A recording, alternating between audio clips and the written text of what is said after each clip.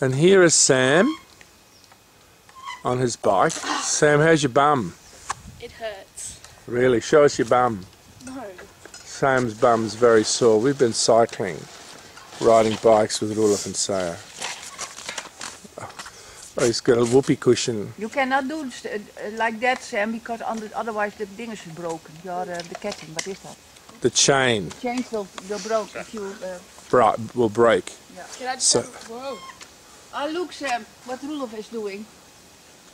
He's put a little red thing on your bike. Look, try now. It's better. Sam, that's for wimps. Yeah, look this. That's for wimps. That's for wusses. Because Sam's bottom is very sore. He's stuck. He can't get off. He's such a turkey. Honestly. And his bum, bum is really, really sore. And we've been riding a bike now for That is not 13 looking kilometers. Good for you. Nee. Yeah, try this now. It's better. Oh, it's all sweaty. No, No, it it's water. It was water. It, it was raining and the raining is... Nee, kom van de, van Oh, look, I, I've, I've put tissues on it. Sam.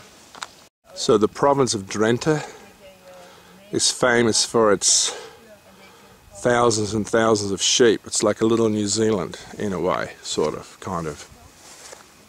And there he is with his auntie speaking English.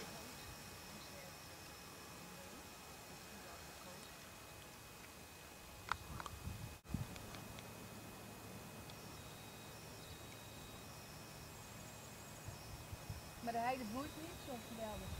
Nee, vorige week wel. Ja? Ja. Het is al minder van. Vorige week was het heel mooi.